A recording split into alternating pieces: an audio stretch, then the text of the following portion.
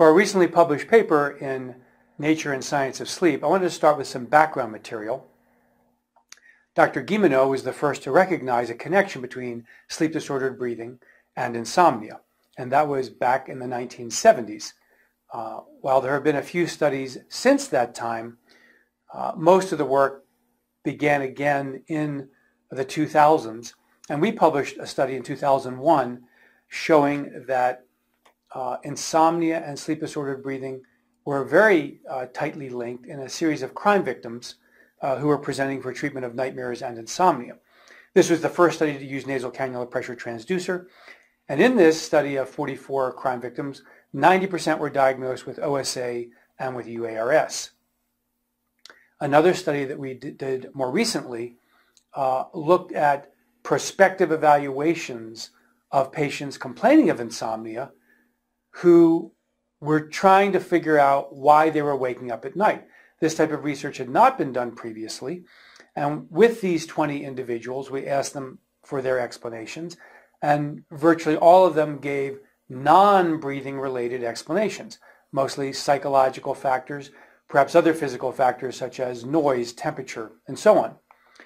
But it turns out that when we put them in the lab for a diagnostic study, 90% of their awakenings were preceded by a respiratory related event, an apnea, a hypopnea, or a flow limitation event. Now when we think about trying to treat these individuals, we normally recognize that the airflow curve should be rounded on inspiration and expiration as far as our target would go, but we often run into this difficulty in dealing with respiratory effort-related arousals or flow limitations, uh, the two discrete terms for upper airway resistance. And what happens is we conduct a titration trying to eliminate the RERAs, but instead we end up with expiratory pressure intolerance. And so as you can see on these next three slides, this is our normal breathing curve. This is an example of flow limitation with snoring. And this again is the example of what happens when you try to treat RERAs with CPAP often you get expiratory pressure intolerance. And this is a sign of both subjective and objective discomfort. So for example, many patients who are prone to anxiety, such as insomniacs, will develop claustrophobia. Some people will reject CPAP quite vigorously because they do not like it, and some even perceive it as a traumatizing experience. Our experience has been that the use of advanced PAP devices, such as ASV and auto bilevel, are very good at resolving these issues. And in this particular algorithm, what you see is a progression specific to the use of the ASV device, where there would be persistent RERAs uh, when treated with a traditional PAP mode, expiratory pressure intolerance emerges. Uh, expiratory pressure intolerance may actually persist and aggravate sleep fragmentation. Eventually, central apneas and complex sleep apnea may develop and then you must institute a different form of PAP therapy, such as ABPAP or ASV, to overcome that. Regardless of whether the patient develops the central apneas, it's very common for these individuals to develop expiratory pressure intolerance. And again, this is the cardinal process. Flow limitations lead to expiratory pressure intolerance when the treatment is not going well with PAP therapy.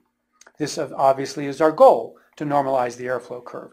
In our paper in Nature and Science of Sleep, a retrospective non-randomized controlled study on auto-adjusting dual pressure positive airway pressure therapy for a consecutive series of complex insomnia disorder patients, we worked with several hundred patients who had come through our center. And to highlight this for you, we divided those who completed the project, which was uh, retrospectively uh, uh, looked at in a chart review, those who completed were those who actually were using PAP at some level. And we divided into PAP users and partial users. And you can see the two groups are made up of 246 in the users and 56 in the partial users. And then below you can see that the ASV and ABPAP patients were using quite a bit, more than six hours a night, and often averaging close to 90% of nights or more. The partial users were averaging more in the 10 to 15 hours per week. And on this first slide of the results, you see for total insomnia scores that uh, whether it's all the sample, the, uh, the um, regular users, the partial users, everyone had a large effect size. But you can see the effect sizes are larger for the PAP users compared to the partial users in terms of a reduction in the insomnia severity index, uh, dropping in the PAP users uh, well below the cutoff of 15 for moderate insomnia, despite having started out close to 20, um, which is just under uh, the, the uh, mark for severe insomnia. If we look at it by device type, there really is no difference. Again, you have large effects uh, in both groups. Uh, the ASV users seem to be more or do show uh, a greater uh, reduction than the uh, partial users. Um, these are statistically significant between groups, but again, this is a retrospective, non-randomized controlled study. And then last, the auto bilevel uh, device again shows the um, same uh, changes, not quite as much uh, with auto bilevel in the partial user group, but then that sample is very small, so it may not be as relevant. Um, and then the last slide, difficult to follow, so we'll leave it up a bit.